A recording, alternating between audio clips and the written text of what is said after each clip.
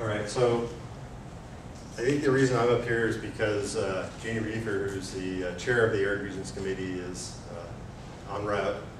Uh, And I've been a member of the Arid Regions Committee, it's an ASFPM Arid Regions Committee for at least a dozen years. So uh, I think it it came to me.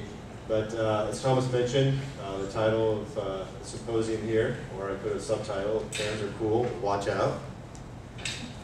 And uh, in terms of the uh, Arid Regions Committee participation, um, Jeannie Reefer and Bob Davies are actually the the co-chairs of uh, the committee.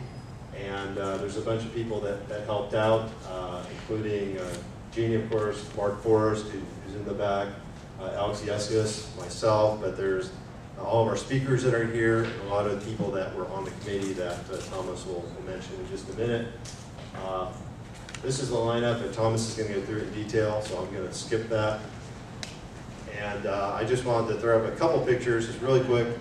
Uh, What I did on my summer vacation, I happened to be in Norway this summer, and I was riding a bike, and I, I saw this, and I was like, oh, cool. Real fan, but closer to home, uh, This is uh, actually going up to to Las Vegas and uh, going near Littlefield. You can see it's a very nice fan with a building right here.